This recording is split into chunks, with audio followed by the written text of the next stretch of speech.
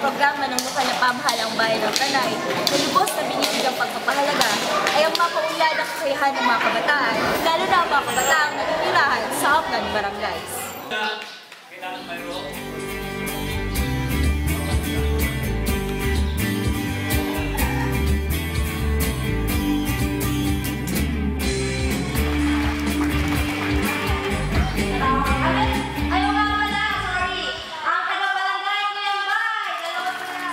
Ang kauna-unahang youth leadership training para sa mga kabataan sa upland barangays ng bayan ng Tanay ay ginanap noong nakaraang December 15 to 16, 2012 sa Barangay Santo Niño.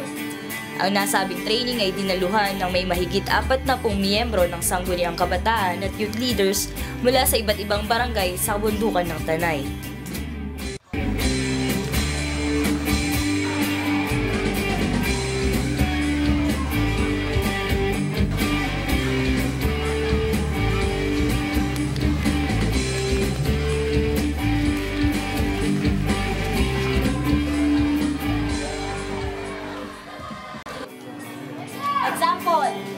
Naglaan ng iba't ibang programa ang lokal na pamahalaan sa dalawang araw na training, gaya ng mga palaro at lecture na nakatuon sa pagpapalago ng abilidad at kakayahan ng isang youth leader na mamuno at maglingkod sa komunidad.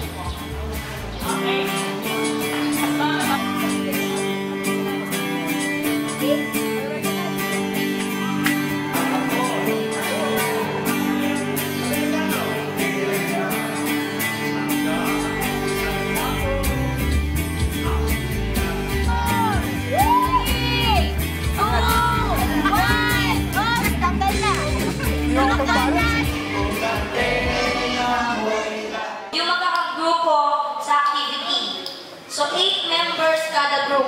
Layunin din ng programa na lubos pang mapalakas ang pagsasama ng mga kabataan at mapaunlad pa ang kanilang kaalaman sa pakipagtalastasan.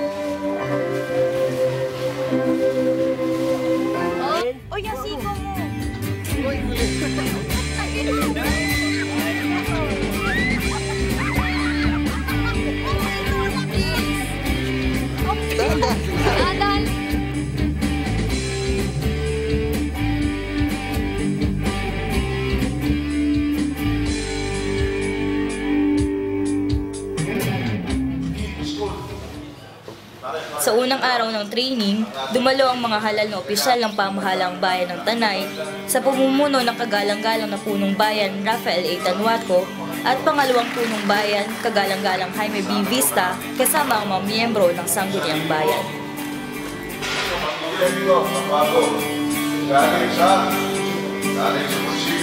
Salamat. At uh, siyempre si Coach Albo. Oo. Sinabi nga, kayo, ang higit sa lahat, kayo. Sa sangguniang bayan sa kaumunan ng ating masipag na pangalawang bayan. Programming opportunity na pag pinatawag kayo sa kabataan, sa, join lang kayo ng join lang. uh, pamahalaan bayan ay talagang nandiyan po lagi siya.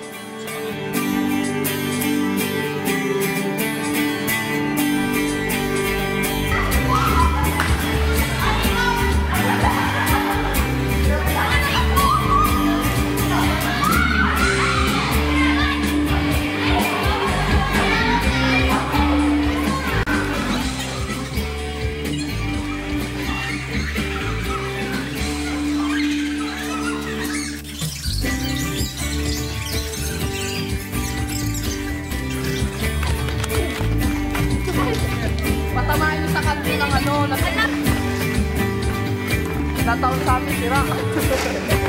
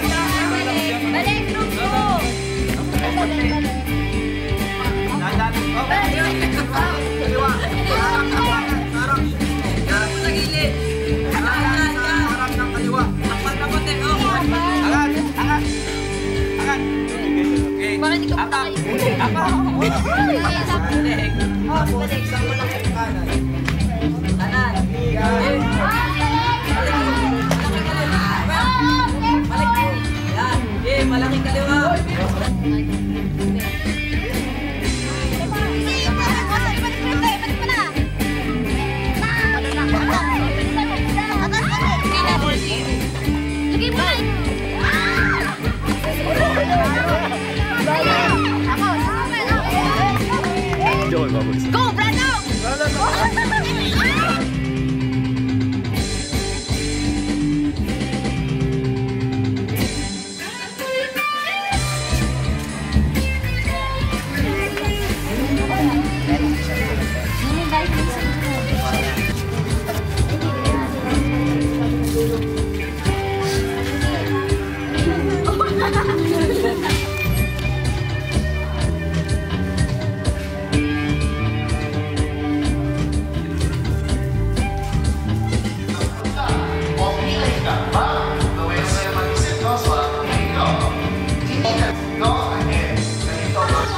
Energetic, gawa ng youth.